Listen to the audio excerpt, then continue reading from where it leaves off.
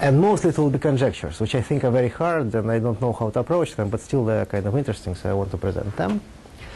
And uh, so, as Jean-Luc said, this will be very informal, and I want it to be informal anyway.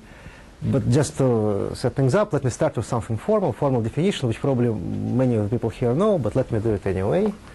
So definition uh, of a symplectic resolution. So for me, today, symplectic resolution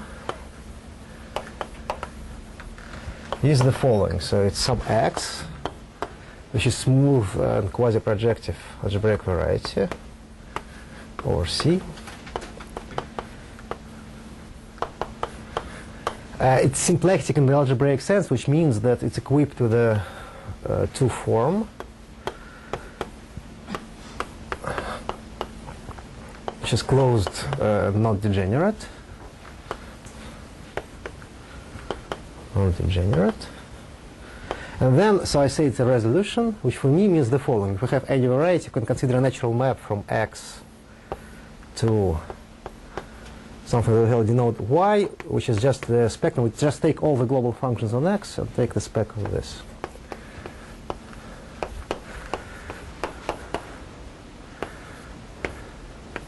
And I want this uh, to be proper and uh, birational. Proper version. In other words, there is enough global functions on x to separate many things, so there's the map is proper and generic, generically one-to-one.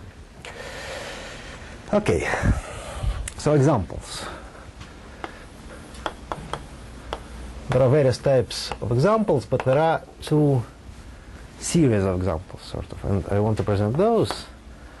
So first, uh, we can consider some G, which is a semi-simple Lie group, algebraic group, over C.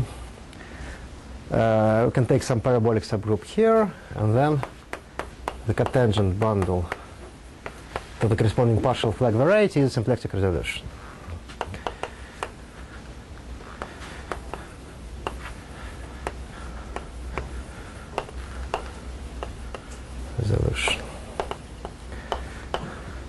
It's not immediately clear uh, is the of what, because this uh, actually depends on what we consider. This can be either an nilpotent orbit or maybe some kind of fine ramified cover of an nilpotent orbit. And this has been studied rather exhaustively by, by Namikawa and Fu. And uh, now the second sort of general series of examples is Nakajima's uh, quiver variety, quiver varieties. These are defined by certain combinatorial data, and uh, they are rather explicit, in particular as y is also known. I don't want to reproduce the definition at least now, but later I will kind of remind you of at least the simplest example of this guy, because this will be important. Uh, uh, there is one technical thing which is uh, usually imposed on some additional uh, structure which is usually imposed on this data, which is needed for many, for many results. And this is an action of C star, so additional structure. You see, uh, this thing here, just by definition, is a, a, fine algebraic variety. So the situation is rather non-compact. The map itself is proper, but Y is affine. So often when you need to control uh, some kind of convergence, some kind of compactness, you need some, some additional structure on Y or on X which would ensure this. So usually we require that we have a, an action of the group C star on, well, it's sufficient to give it on Y, and then it's a theorem that automatically leads to X. Uh, such that on Y, the section is what is called positive weight, which means that if we look at, so I mean, C star action on algebra is just a grading. So this grading here has to be such that the degree zero component is just C, and negative degrees uh, uh, don't exist. So all the weights are non-negative, and degree zero is just C. So, so the action is positive weight.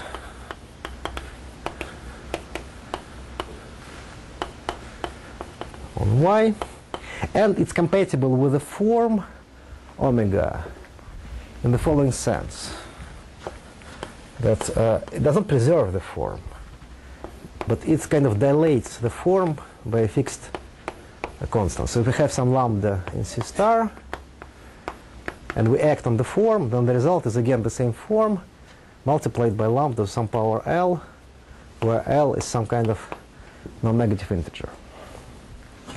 So geometrically, this positive weight means that uh, the action kind of contracts everything to at a single point here on y.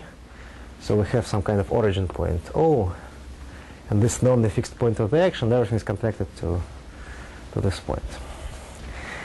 In examples, so here you can take the obvious action just by dilation along the fibers of the cotangent bundle.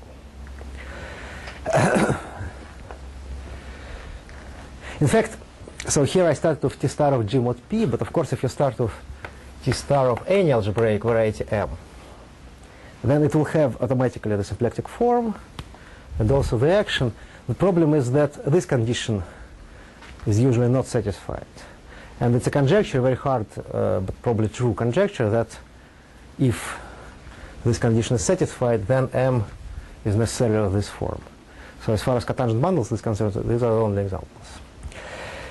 So here we can take this action, and then this uh, number L is just 1.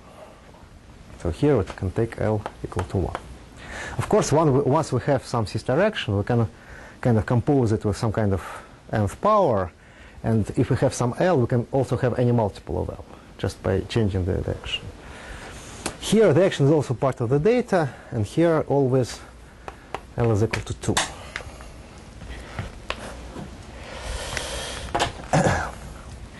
okay, so this is the definition.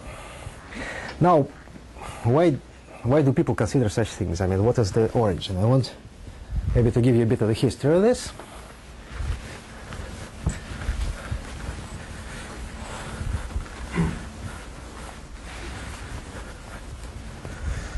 So origin of the definition of notion. In fact, there are two. So first of all, there is some, I mean, the definition, not this definition, but related definition of symplectic singularity was introduced by Beauville in the context of algebraic geometry, basically.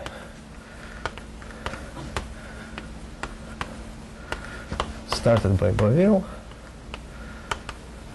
and then the people followed.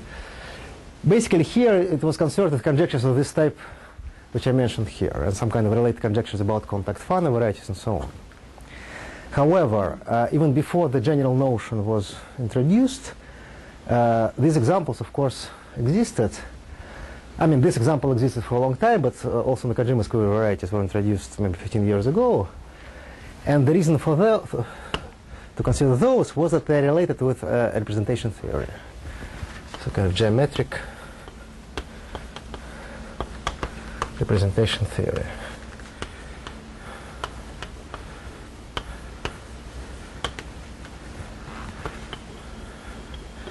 So I want to explain very roughly and briefly something about this because this is the part of the story which you don't usually hear in uh, kind of algebraic geometry meetings, and it will be important for me.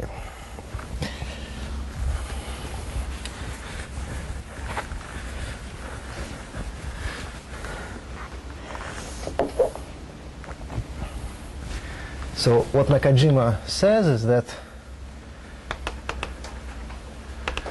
uh, or K-theory, say K-theory of a quiver. Variety carries a natural action of uh, something interesting, but specifically for quiver varieties of finite type, this will be uh, the affine quantum group.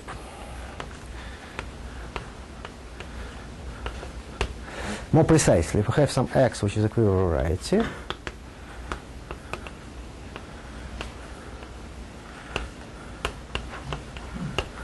then, as I said, uh, we always consider it equipped with this, this direction. But in fact, by construction, it also comes equipped with some action of certain group G, which is a product of some GLN. So acted upon just by construction by some GL, by some G, which is the product of some GLI. And what one does uh, is one considers the equivariant uh, K0 of X, so one considers the category of coherent sheaves on X and takes K0, which is equivariant with respect to C star times this group G. Let me note this by V.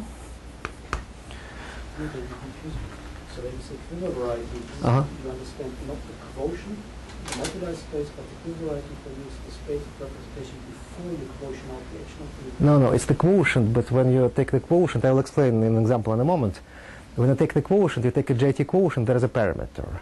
So if parameter is zero, the thing is basically like y here. If the thing is, is at a, if the level is not zero, then it's a smooth resolution.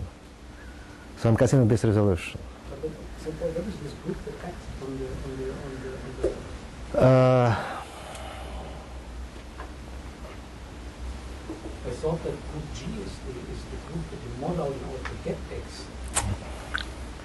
there are V's and W's. This is about W. I'll explain in a moment, okay? I, mean, I don't want to introduce the definition because there is a lot of combinatorics. In the example, I want to consider just SL2, where I can dispense with most of it. So I just give you the general picture and then immediately give you an example.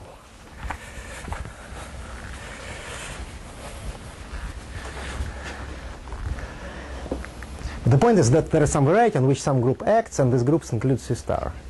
You consider the equivariant K theory, and then automatically this is, of course, a vector space, but also it's a module over the equivariant K theory of a point, module over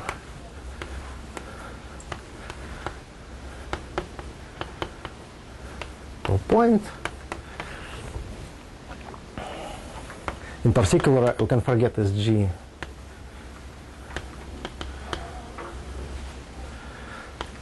Uh, then you have K star of a point. And this is just, of course, the representation ring of C star. So this is nothing but Z over, over some, some generator Q. Q power, power minus 1. So, so just some kind of Laurent polynomial ring. And uh, then Nakajima introduces certain operators on this guy, which satisfy some relations, which are in general quite complicated. So Nakajima introduces some operators on V. Uh, which generate something called affine quantum group. And this is also certain algebra over Z of Q, and this Q is that Q. Generating so something called UQ of I don't know some G hat.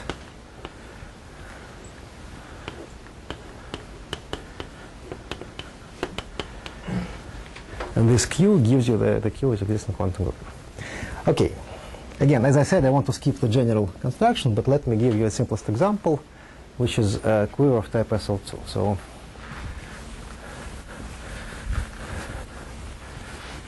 this is kind of cheating example because in fact there is no quiver, there is just one vertex. So example uh, SL2. So what's the quiver variety corresponding to SL2?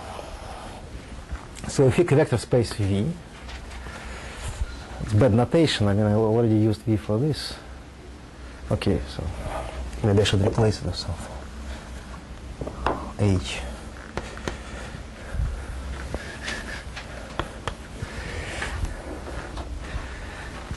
And we fix now vector space W.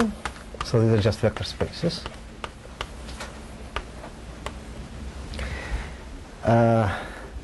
Geometrically, you think of, in general, you think of some kind of quiver, maybe a, a finite type quiver, but here it's just one point.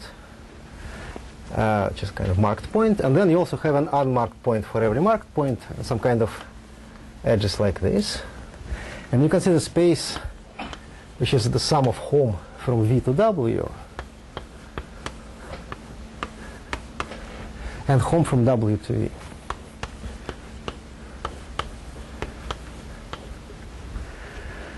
Uh, this is just a vector space, of course, and it has a natural symplectic form because you can pair this and this and take the trace. So this is a symplectic vector space. And it has a natural action of what? First of all, GL of V, and then GL of W. Acted upon by GL of V times GL of W.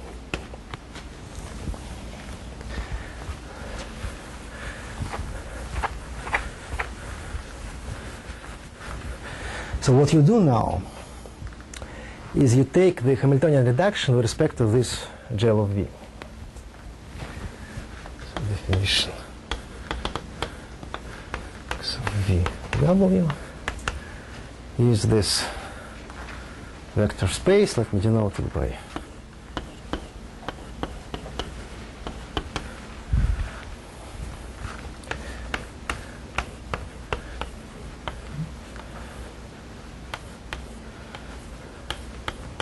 Now, what do I mean by Hamiltonian reduction? So, there is the symplectic reduction procedure in Kähler geometry, and this is a complex version of the same procedure, meaning that uh, this action of GLV preserves the symplectic form, and moreover, uh, it's easy to write down a moment map. So we have some map mu from V to the Lie algebra of GLV, which is just just endomorphisms, just matrices size V. And the action is a very stupid one. You just take basically the, the product. You compose, so we have one map in this direction, one map in this direction, take the composition.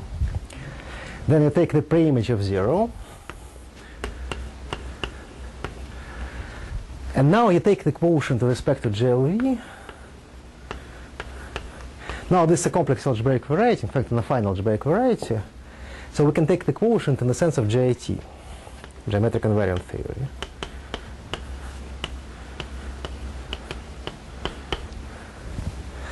But if you look at it, you see that uh, in JT there is a choice. So you have to choose a line bundle and the linearization of the line bundle. So the line bundle here is just a trivial one.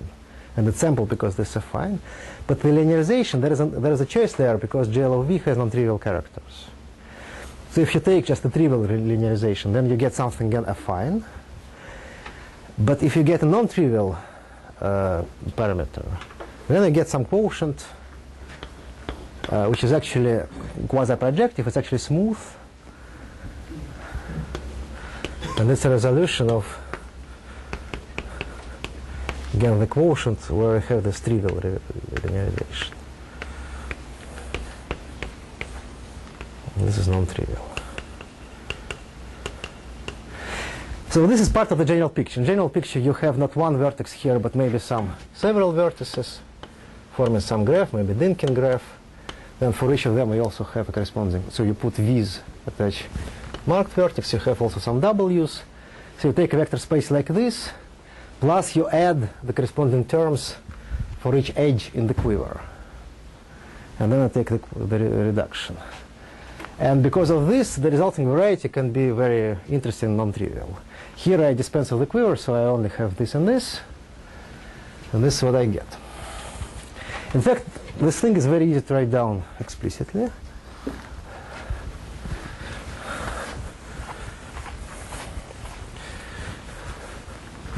So observation.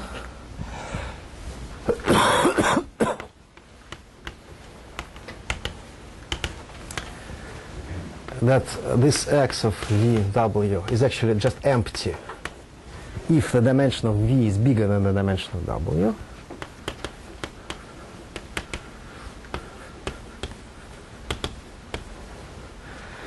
And uh, if the dimension is from 0 to dimension of w, then this is nothing but t star of the Grassmannian of the size dimension in dimension w. So what happens is that when you take JT quotient, of course, you first restrict to only stable points. And then you can show that stable points corresponds to, so a point is just a pair of maps here such the composition is zero. And then it's stable if this map here is actually injective, it's an embedding. So you have an embedding from V to W, which means just a subspace in W of dimension, same dimension of V. And then the second term gives you the fiber of the cotangent bond. So this is nothing but this. Uh, now, how do we get the representation? So to get a representation,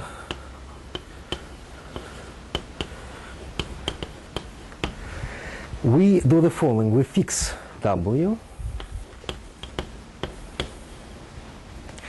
and then consider the disjoint union of those x's over all possible v.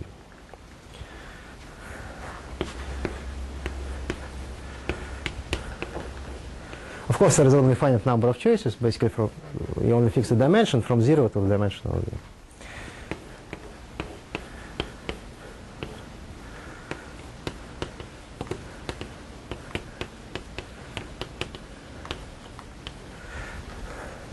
So what symmetries do we have here? First of all, we have the action of GLW. So I use GLV, as Manfred mentioned, to, to get the quotient. But then this guy also remains and still acts. And moreover, there is the C star, which is very clear in this picture. So you start with some symplectic vector space and take the quotient by a group. You can always get C star basically for free, but just considering the dilation of the vector space, just homotheties. Then, of course, it can use, it's just scalars, so it can use with anything, gi- gives you a, good action of the quotient. And then it's clear that the weight of the form is exactly 2, because if you have symplectic vector space, and you act just by scalars, then form is of weight 2, so it's kind of clear. So we have C star times J of V, uh, J of W acting.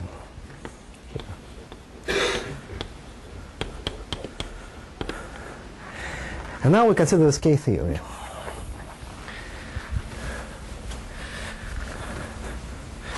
Uh, of course, K, K group in general is very hard to compute for an arbitrary algebraic variety, but the varieties which appear here are very simple. Essentially, they can be decomposed into cells, and those cells are just affine spaces. So for them, K0 is basically the same as cohomology, at least the same, the same size. So if you take a tensor Q, then they are just identified by the Chern character. So, uh, at rank of K0 of this X of W is, uh, is the same as the total dimension of the cohomology of X. So this is uh, what? Something like this. Uh, just the binomial coefficients. And when you take this disjoint union, what you get is just 2 to the power dimension W. So for example, if W is one-dimensional, then when we have two Grassmannians and both of them are actually points. So we have a union of two points and dimension is 2. And more interestingly, more interestingly, if W dimension 2, then we have what? We have a point, we have another point, and then in the middle we have, so the gas Grassmannian is G1, 2, which is just P1, so we have T star of P1. and this has two-dimensional cohomology, two-dimensional K-theory, so the whole, the whole dimension is, uh, the whole rank is uh, 4. So it is this thing which carries the interesting representation.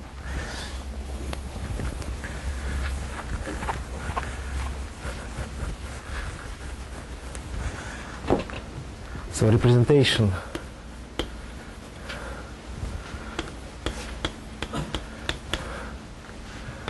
representation appears on this k0 of x of W. Equivariate to respect to whatever acts there.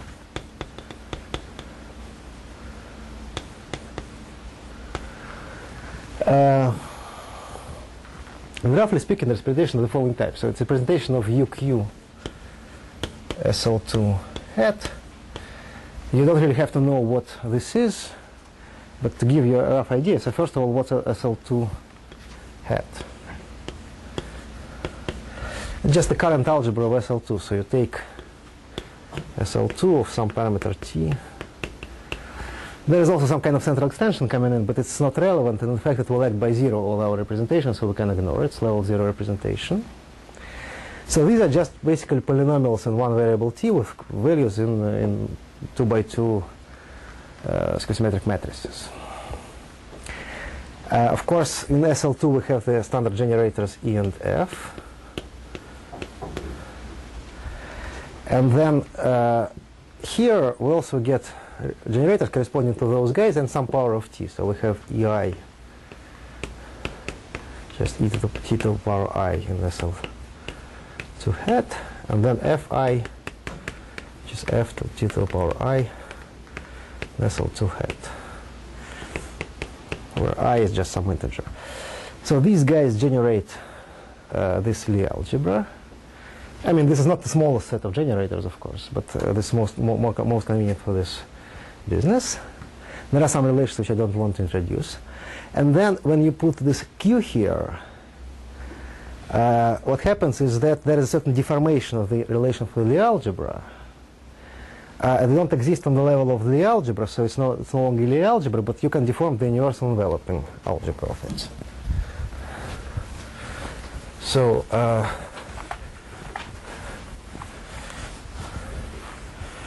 if you consider the universal enveloping algebra of SL hat, then it's generated by the IFI and the, this UQ is a deformation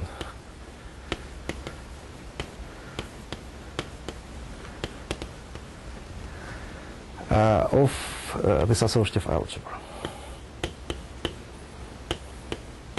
Over z of q, q to the power minus 1. So the classical case corresponds to taking q equal to 1. Uh, okay, so what kind of representation this guy has? First of all, the representation itself is like this. So SL2 has the standard representation two-dimensional vector space. So let H equal to C2 be the standard representation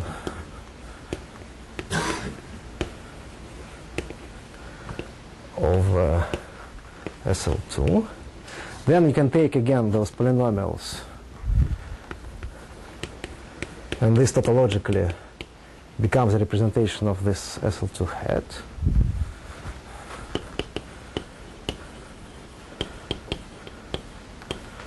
SL2 hat. So uh, this thing here turns out to realize the following thing. You take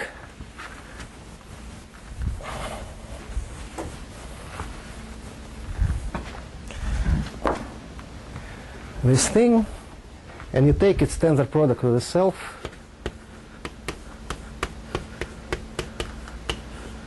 uh, as many times as the dimension of your, of your, of your W.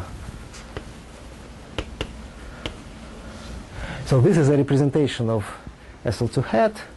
And then a very non-trivial factor in the theory of quantum groups is that this guy can be deformed to a representation of the quantum. So this has certain quantum deformation. This is a representation of UQ SL2. And it is this thing which uh, Nakajima realized geometrically as K0 here. This is Nakajima.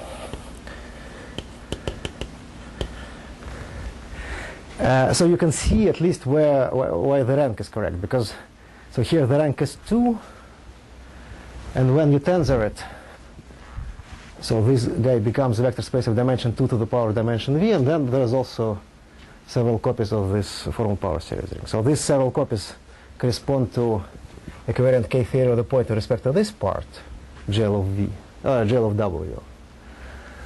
And this to 2 to the power n is the same 2 to the power n which we saw as the rank of K0 of X of V.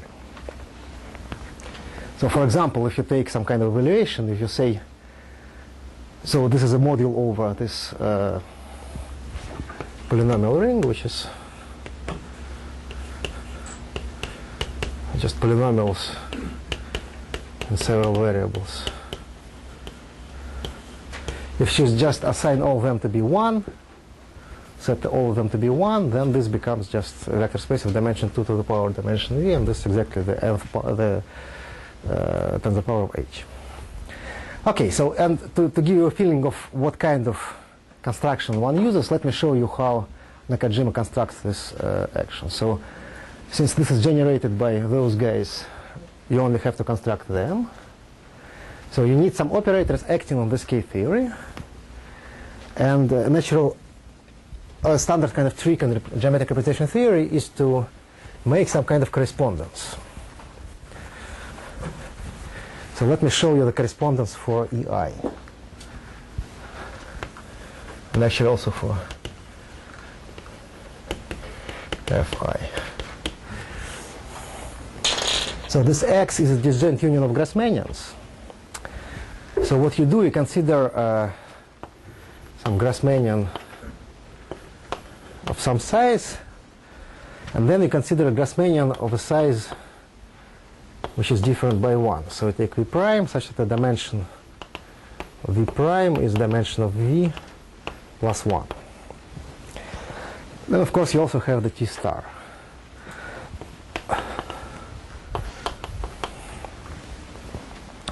And now you consider some, some kind of partial flag variety. How should I denote it? So the variety of uh, the following configurations. You take W and then you take inside it two subspaces of the corresponding dimensions. So a copy of V and a copy of V prime. So these things projects to this Grassmannian and to this Grassmannian. And uh, then there is this T star. So here, uh, if I remember correctly, so you take the total space of some bundle, I forgot which one. Some kind of conormal bundle in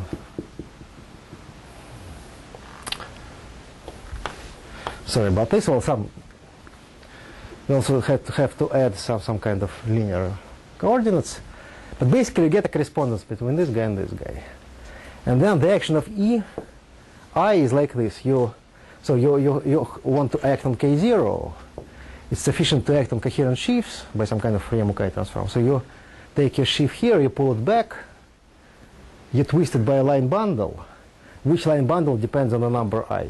So it is some there's a certain determinant line bundle here. You raise it to the power i, and then you project here. And this gives you ei.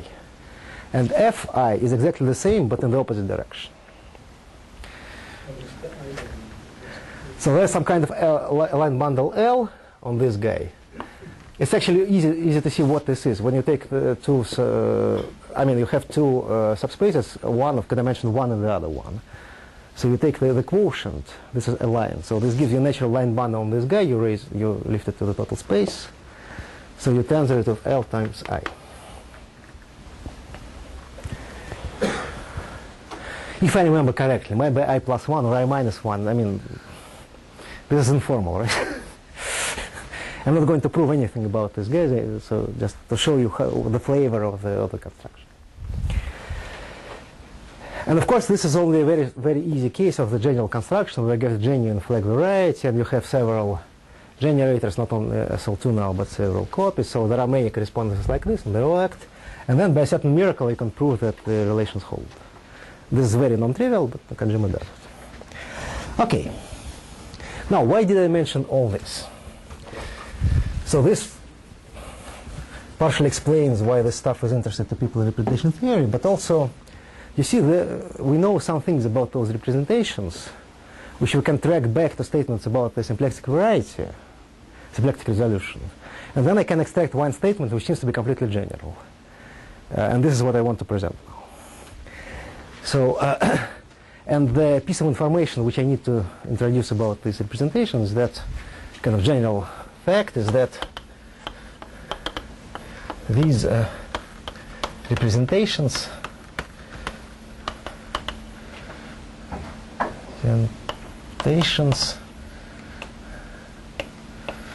have a so-called canonical basis. Canonical basis. Which means that there are certain uh, bases of this as a Z lattice which are very, very special, very distinguished uh, by certain properties. So this has actually an interesting story. I mean, this construction of Nakajima is actually not the first construction of this type. It appeared as a kind of uh, development of earlier constructions. So there was first constructions by Lusztig, not of the affine quantum group, but just the usual quantum group, the finite type quantum group.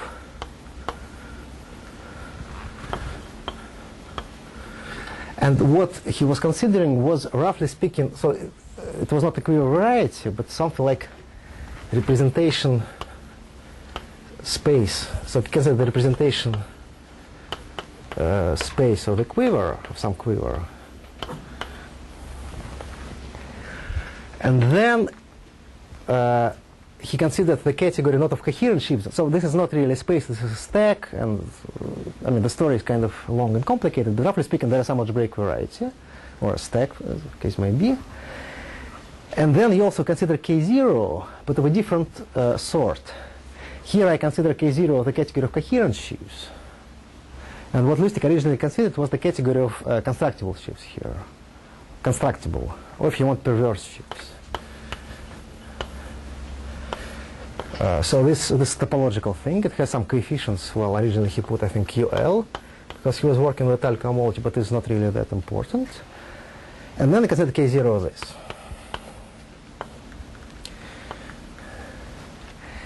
However, the category of uh, perverse sheaves on some algebraic variety, or even on a stack if the stack is nice enough.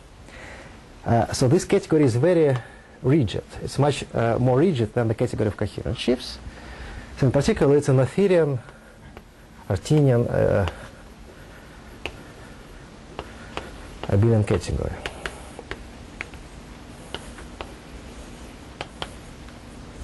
category. Which means that there is a finite number of reducible perverse sheaves, and then every perverse sheaves has a finite length uh, filtration with uh, reducible quotients. And the construction of the representation of, Lusztig was also geometric. So there was some correspondence acting on this by the same kind of, so there was some kind of analogous functor, uh, some kind of Fourier-Mukai type functor, except that it was for constructible sheaves, not coherent ones. But the group was here, and for every category which has this property, you automatically, just for free, get something more. You actually get a basis in K0. So uh, this implies that K0 of such a category has a distinguished Z basis corresponding to or given by classes of reducible reducible objects. This, of course, purely geometric construction. But then, surprisingly, at about the same time, Kashiwara studied the same type of representations from a purely representation theoretic point of view. So, some kind of representation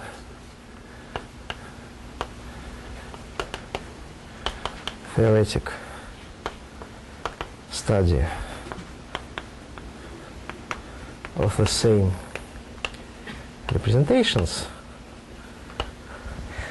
He did something, I mean, I don't know how, I mean, this has some origin, some kind of integral system, some kind of very hard science which I don't understand at all. but the, the upshot is that, as I said, quantum group is some something over polynomials in Q, and when Q is equal to 1, this is the classical case. So what Kashiwara and some other guys did was set Q to equal to 0, which at first seems like a very absurd procedure, but turns out to be fruitful. And then he constructed something called crystal basis.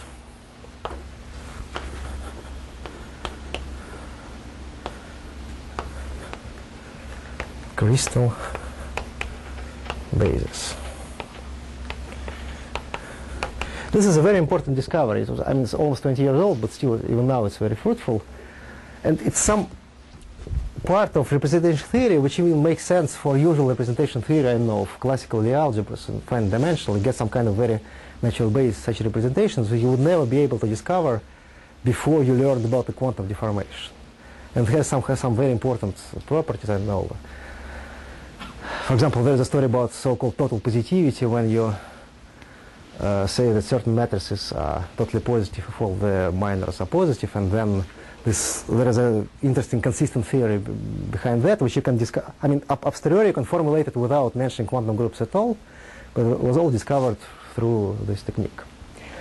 And then there is a purely combinatorial way to describe representation. So there is a huge, huge story here. But then, of course, so we have the same representation with two types of very special bases. Natural question is to compare them. And then it turned out that in the case where we can compare, the bases are the same. So I want to keep this for a while, for a while. Some crystal bases.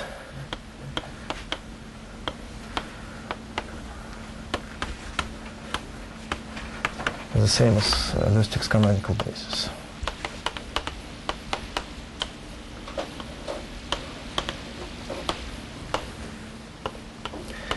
However, Kashiwara worked purely in the context of representation theory of Kac-Moody algebras, not even finite quantum groups. So in fact, there are much more representations which have crystal bases than those which were studied by Lusztig. And uh, in particular, uh, I think where they diverge, so Lusztig's construction is really for finite type quantum group. But Kashiwara's uh, construction applies equally well to the uh, affine quantum group. So after that, uh, kind of Nakajima's construction comes along. And uh, you want to find some kind of geometric realization now of an affine quantum group. And in particular, you want to check whether this leads to any interesting basis. Okay, so here's the realization. But now, of course, we're in, we have a problem because now we're working with coherent sheaves. And coherent sheaves are much, much less rigid. So, I mean, there's something to gain and something to lose. Something to gain is that now you have this line bundle, which you can put here in your Fourier-Mukai transform. And basically, it is this line bundle which creates the affine quantum group out of a finite type quantum group. Because in Lusztig's construction, we can use basically the same correspondence. But we, all, all we can do is pull back and push forward. There is nothing to twist with. And once we go to coherent sheaves, we, we now can twist with this L. But on the other hand, we don't really have, uh, at the first glance, we don't have an Artinian Artinian abelian category, so we don't have a canonical basis. Except that, in fact, as we now know, we do.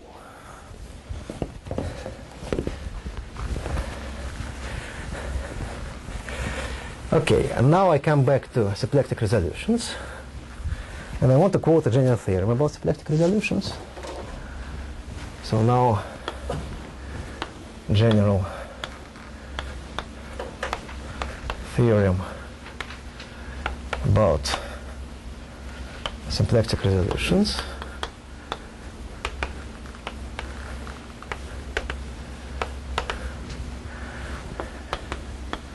So I assume we have a symplectic resolution as, as I defined in the beginning. In particular, it has the cis direction. Then there exists something which I call the tilting generator. And this is a vector bundle such that, first of all, it has no Ext from Ext from e to e as 0 for i equal for i greater than 1 Of course, in degree zero, we have a lot of, of a lot of Homs. Let me denote by R the algebra of endomorphisms of E. And second, E generates uh, the derived category of coherent sheaves on X, which means that if home, if our home from F to E is equal to zero for some F, then F itself is zero.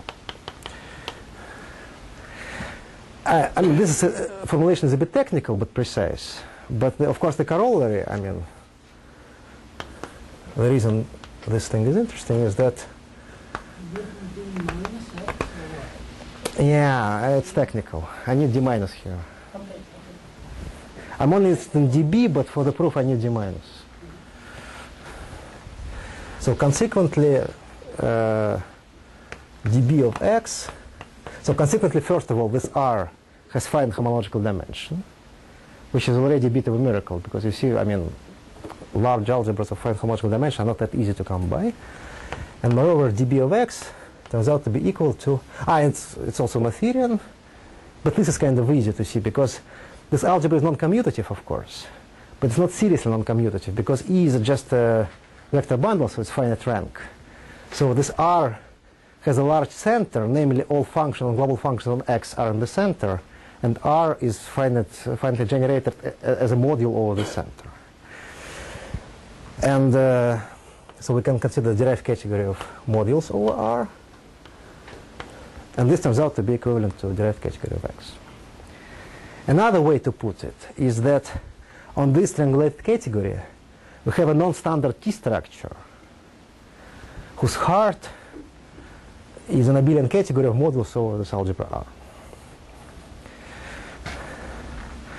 And moreover, I think I can write here. Yeah. So, as I said in the beginning, for me, everything will always have this direction. And uh, the general fact that once you have a bundle like this, you can always equip it also with a cis direction. And R carry cis direction.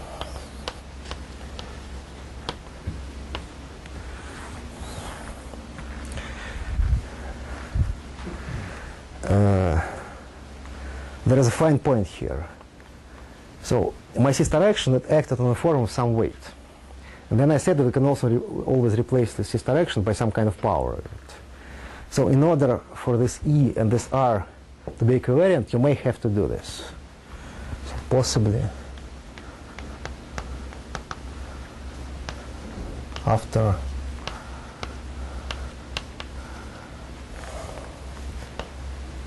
taking the power of the original cis direction. Okay, so what does it give us?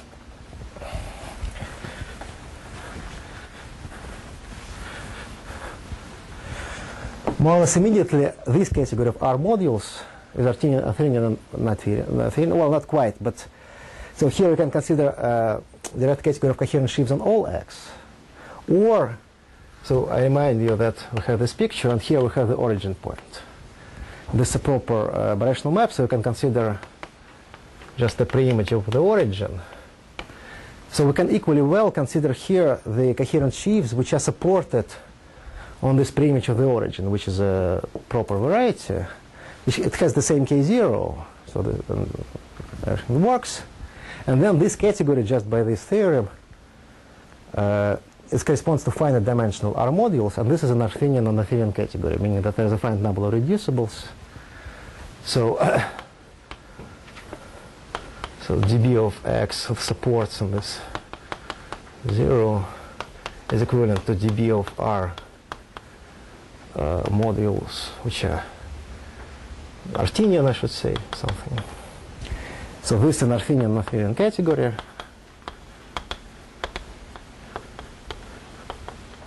Category. And then, of course, so we get a basis in K0 as before. And then kind of a natural expectation I wouldn't dare to suggest this as a conjecture because I don't think everyone's brave enough to do it, but it's kind of expectation which was communicated to me by Bezrukavnikov. But maybe other people also thought about it. Yeah, finite length, Artinian, yeah. Compactly supported if you want, or supported on the central fiber. Uh, I think it's it all more or less boils down because I, I probably want them to be C-star equivariant for a good measure, and then boils down to the same thing. Supported because this is the only fixed point here, right? The rest are non-compact. So the so no, no, kind of crystal basis. basis in K0 of variety.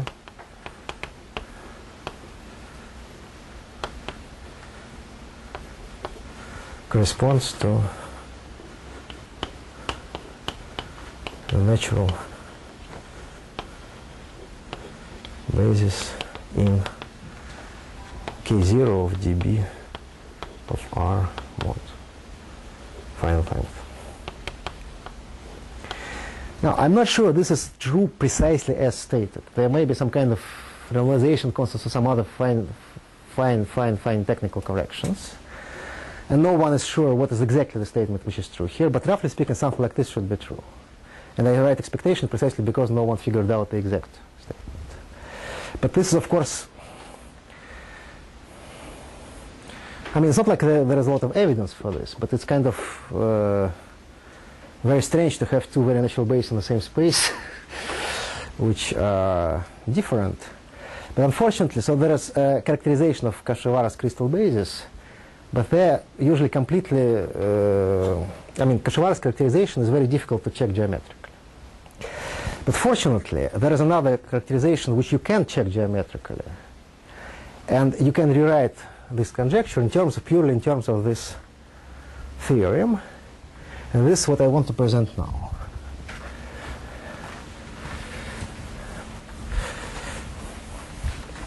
So I don't want to give you exactly the full characterization of the canonical basis, but the rough idea is like this. If you have some lattice over Z, some, I don't know, free Z module, which moreover is a lattice in the sense that you have some kind of pairing, then of course it can be whatever it is. But in the case when uh, the pairing is just a standard one, so we have Zn with the standard quadratic form.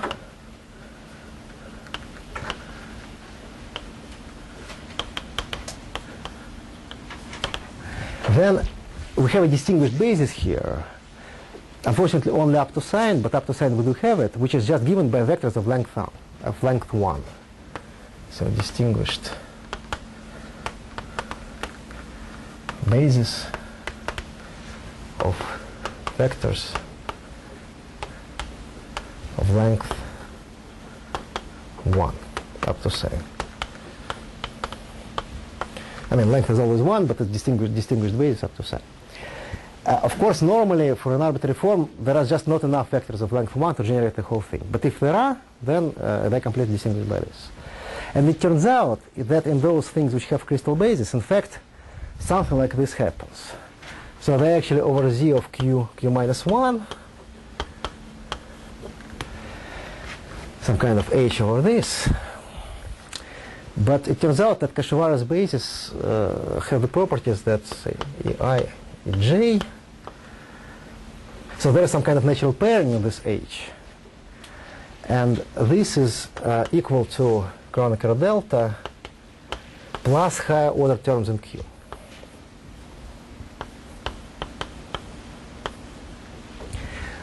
Moreover, there is some kind of natural involution on this, which inverts Q, so it's semi-linear with respect to this, and the basis uh, is invariant under, under this involution. And the two properties, it's easy to show that the two properties characterize the basis up to sign uniquely. If such a thing exists, then it's unique up to a sign. Again, a priori it, it doesn't have to exist, but if it exists, then it's unique up to a sign. And so the, I think the only hope of checking this is to look at this natural basis given by R modules and try to show that it has these two properties. Now, I cannot comment on this because, uh, I mean, you can describe the involution, which, which, which representation theory people know how to do, but let me skip this. Uh, let me mention the pairing, because it's easier to understand. So what's the pairing?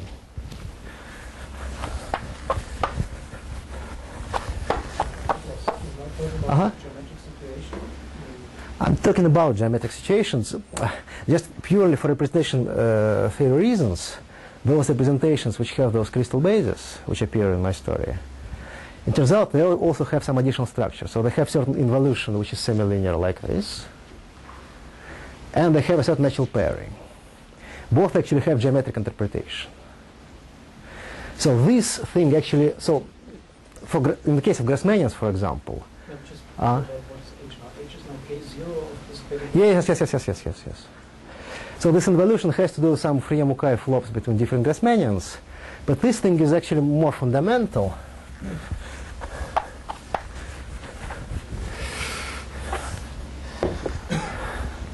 So in a couple of minutes, okay? Okay. So if H is K0 of my X over V, then this pairing is more or less just the Ext pairing. So it's better to interpret this now as K0 of this particular category, or this category if you want, which is the same, right? And then, so as I said, this is basically Artinian Noetherian category, meaning that X and uh, the algebra has finite homological dimension. So for any two objects, we have only finite number of non-trivial X, and they're all finite dimensional.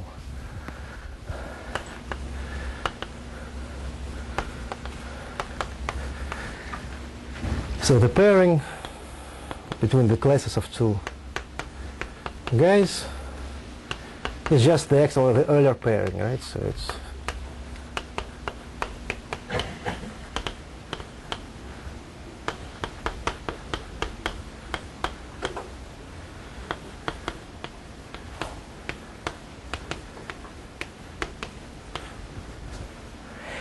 And then you can rewrite this property very easily. So you want now to have this property for the basis given by irreducible modules over R.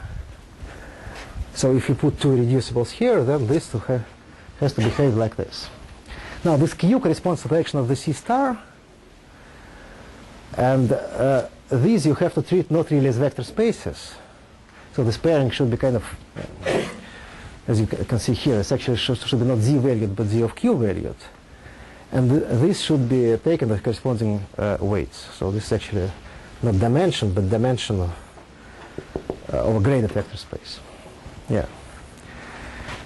So now the conjecture, which should imply this thing, is the following. So there was a theorem about equivalence of derived categories, right? So in the assumptions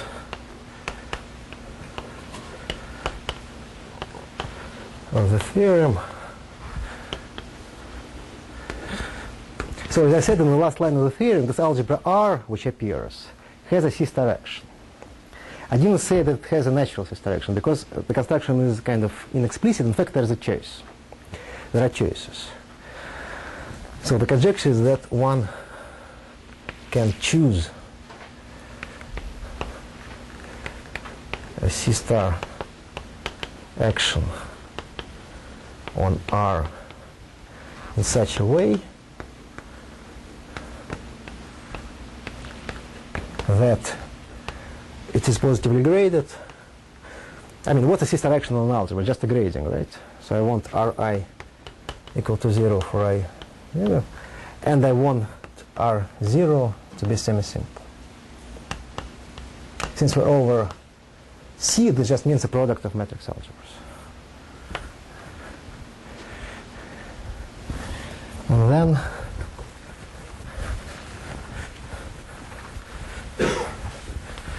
kind of an easy observation is that this implies everything because first of all you compute Ext between reducible modules just by writing down minimal resolutions and you immediately see that in dimension 0 it's either c or nothing And then all the other acts, because of this condition, have positive weights with respect to C star.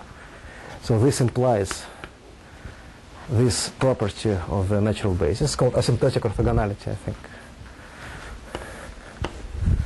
Asymptotic orthogonality for natural basis.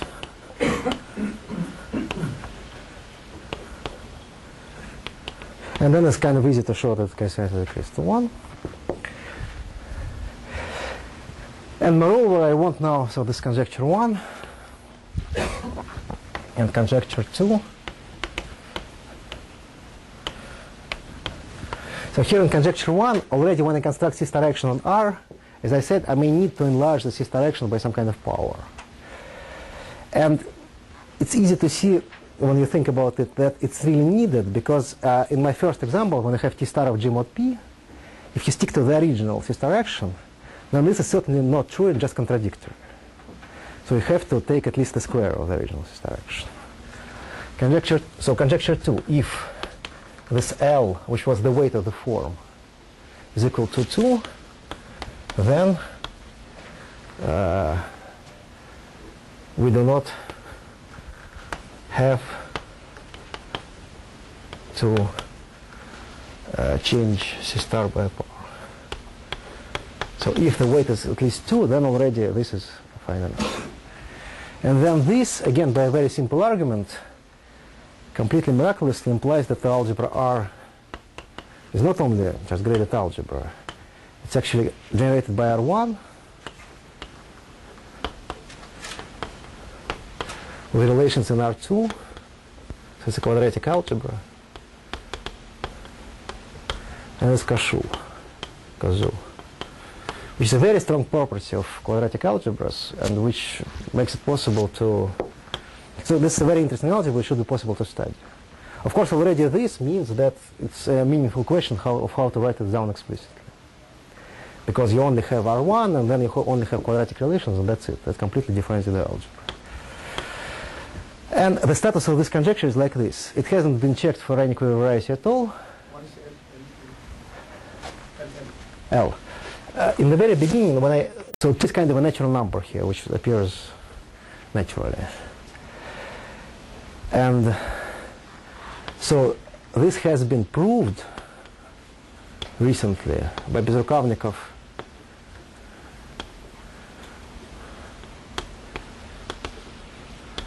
Mirkovic, and maybe someone, maybe Rumynin, I'm not sure, uh, for T star of G mod P. But as I said, you have to uh, change the action, so the square of the action. Square of the action. So I said it hasn't been proved for any quiver variety, but it's not true. It has been proved by those quiver varieties which appear also in these examples. So in particular for this SL2 which I described, this is now known because uh, they are just T star of Grassmannians, and so for Grassmannians we're okay.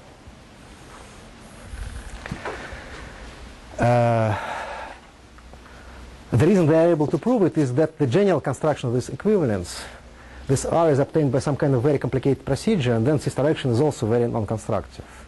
But uh, in the case of G mod P, they do have some control over procedure. We do have some. They do have some control over the algebra R. So in the end, they can show this positive grading. And then, so this is uh, very easy. This is essentially by Serre duality. Immediately, this implies the whole thing. So I have absolutely zero idea how to prove it for quiver varieties. It should be very difficult, but I do believe that this is true uh, in complete generality. Okay, this is where I stop, and I'm way over time. Sorry about this.